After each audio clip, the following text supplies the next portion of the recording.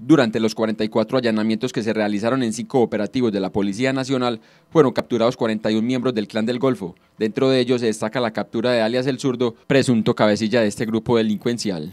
Alias El Zurdo, por ejemplo, había sido el responsable del asesinato de dos operadores de gas en Betulia.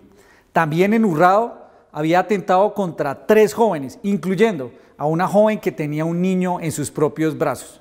Las capturas se dieron en Medellín y en los municipios de Urrao, Amagá y Ciudad Bolívar en el suroeste del departamento. Con este hecho, según las autoridades, se mitiga el impacto de esa estructura en la región, tarea que quieren seguir implementando.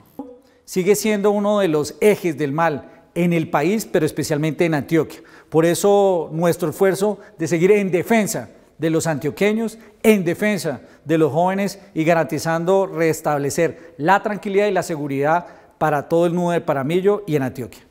Alias El Zurdo tenía tres órdenes de captura por los delitos de homicidio agravado, fabricación, tráfico, porte o tenencia de armas de juego, concierto para delinquir agravado y tráfico, fabricación o porte de estupefacientes.